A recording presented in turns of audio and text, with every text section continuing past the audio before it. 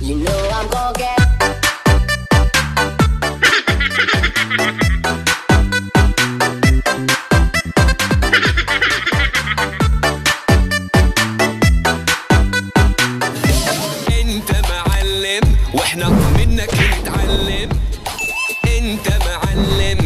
Yo, what's up mga katropa? Kamusta kayo? Magandang araw, panibagong araw, panibagong buhay na naman. Nandito na naman tayo sa panibagong video. At ano bang gagawin natin?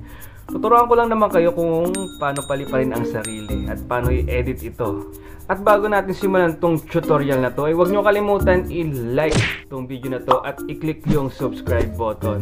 O paano? Tara, simulan na natin. Saka ko nga pala mga katropa, no, share ko lang yung ginamit kong application sa pag edit ng Flying Challenge, yung ah, Power Director. Ayan yung application na ginamit ko na pang-edit sa kanya. Pero kung meron naman kayong video editor na application na mas madali para sa inyo gamitin, no problem, why not? Alright, di ba? So, tara na mga katropa, punta na tayo sa Power Director application at ituturo ko na sa inyo kung paano i-edit ito. Ayun, syempre, buksan natin ang Power Director application. Pag open ito, pinutin lang natin yung new project kasi gagawa tayo ng new videos. Tapos piliin natin yung 16 by 9 dahil sa YouTube natin to i-upload. Pero kung sa TikTok nyo naman to i-upload is pipiliin nyo yung 9 by 16. Pagkatapos, piliin na natin yung ating video i-edit.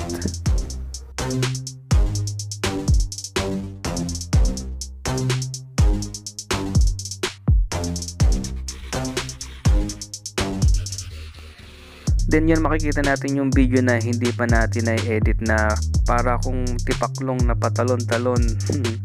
Alright.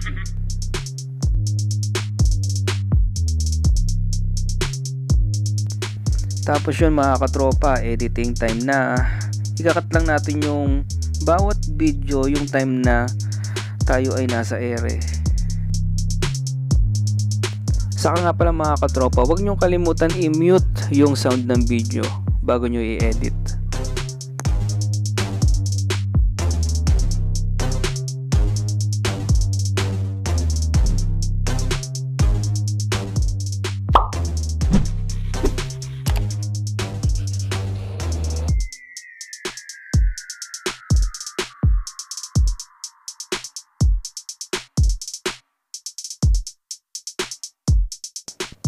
Tapos i-delete lang natin yung video yung time na tayo nakaapak sa sahig.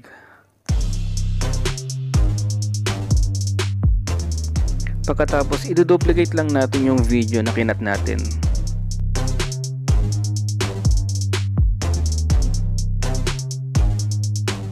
Tapos i-continue lang natin to hanggang sa dulo.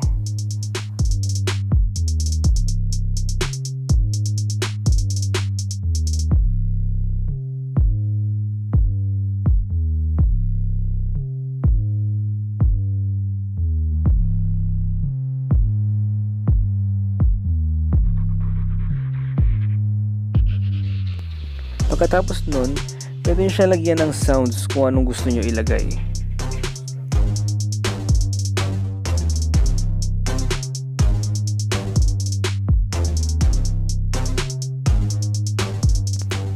Pagkatapos nun, tapos na. I-save na natin yung video yung ginawa natin.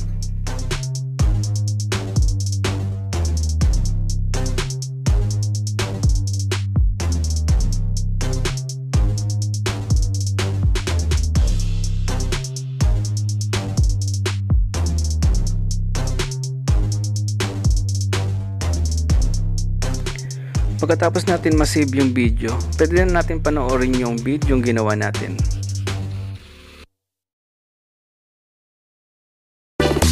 You know I'm gonna get